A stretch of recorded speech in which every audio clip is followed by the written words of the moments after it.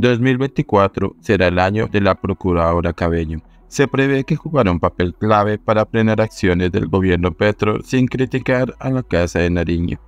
El año de Cabello.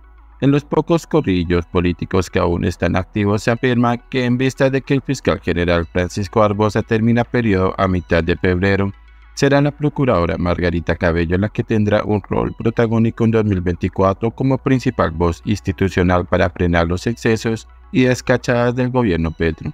Esto bajo la tesis de que la nueva titular del ente acusador, ternada por el actual presidente y a elegir en enero por la Corte Suprema de Justicia, no tendrá tono crítico con la Casa de Nariño. Dilema rojo.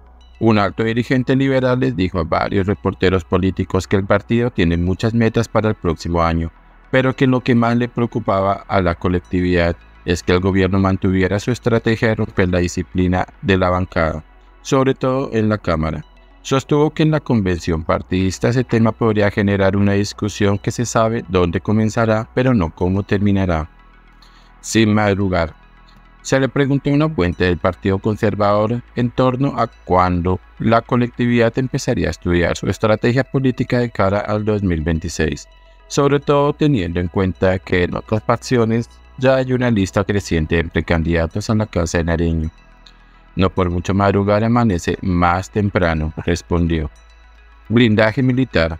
La orden de la Casa de Nariño Ministerio de Defensa, las fuerzas militares y la policía es que durante los próximos puentes festivos se redoble la presencia de toda la fuerza pública en la autopista Bogotá-Villavicencio para evitar que se vuelva a presentar un nuevo atentado a los peajes como ha ocurrido en dos ocasiones en la última semana. Desconectado. Un periodista del nuevo siglo llamó a un reconocido senador para preguntarle sobre un asunto de interés nacional. El parlamentario contestó, pero se excusó de dar una opinión señalando que decidió desconectarse hasta los primeros días de enero para descansar, pasar un tiempo en familia y ganar perspectiva sobre lo que ocurre en el país.